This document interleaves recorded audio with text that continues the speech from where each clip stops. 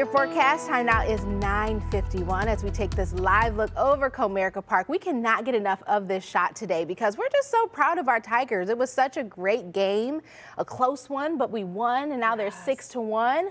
It's going to be a good Woo, season. I love it. And I love the fact that we can play without rain today, Yeah. more comfortable this weekend overall. The weather's going to cooperate. So when we look at our headlines, we're talking about an improved weekend overall. I know rain returns Sunday night into Monday, but next week it's going to feel every bit like spring with temperatures back into the 60s. Going to feel good. So there you can see Comerica in the distance. 38 are low this morning. 36 is what we average. So a little bit above. 55 an average high. I think we're going to be close to that today and tomorrow. We look at our records. 83 is a record high. That was way back in 1929 and our record low of 18 degrees. That was set back in 1982.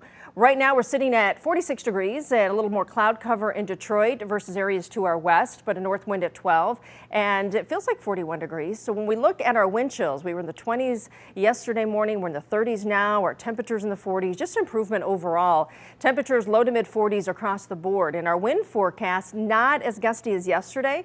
Winds about 5 or 10 miles per hour, I think pretty steady around 10 out of the north through the afternoon.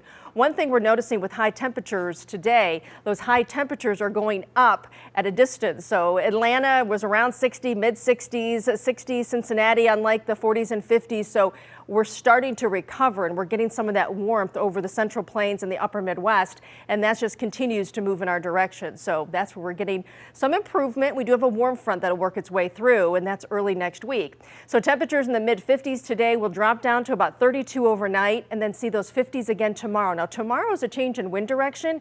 All it takes is a change in wind direction, a little bit more cloud cover, and it'll knock us down a couple of degrees. Not a huge dip, but a couple of degrees cooler than today. Hour by hour forecast shows beautiful influence of high pressure, though, today into most of tomorrow. Tomorrow will be an increasing cloud cover.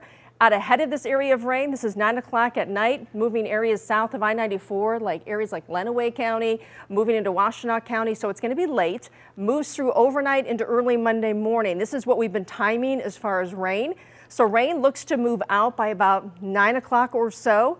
And then the clouds should follow as we go into the afternoon. So when we look at our eclipse cloud cover forecast, I'm going to start at Monday at 5 a.m.